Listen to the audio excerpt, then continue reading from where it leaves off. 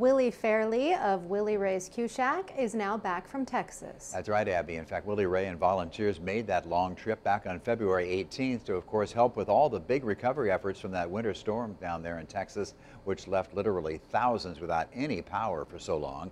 Tonight, KWWL reporter Diego Hernandez live for us tonight in Cedar Rapids with the follow-up after hearing about this big trip from Willie Ray himself. Tell us more. Well, from feeding Iowans out of his drive-through restaurants to making his way to Texas to help those in need, Willie Fairley will soon not only be a household name for Eastern Iowans, but for many across the country.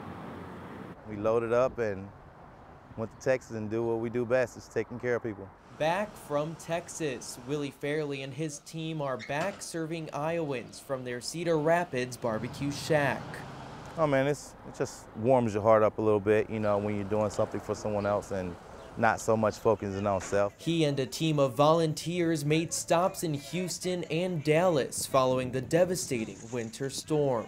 It was definitely pretty bad for those guys, you know, with a lot of water pipes bursting in people's homes and hotels are packed with people because their homes are water damage.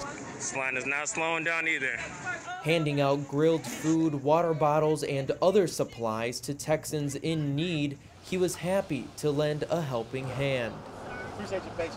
When someone's down and may need a little picking up, so we like to try and show up. And showing up is nothing new for Willie Fairley. He did the same here locally, feeding Iowans after last year's derecho. And he doesn't plan on stopping. You know, we're just gonna keep our ears open and find out where's the next place we need to be and we'll be traveling there too.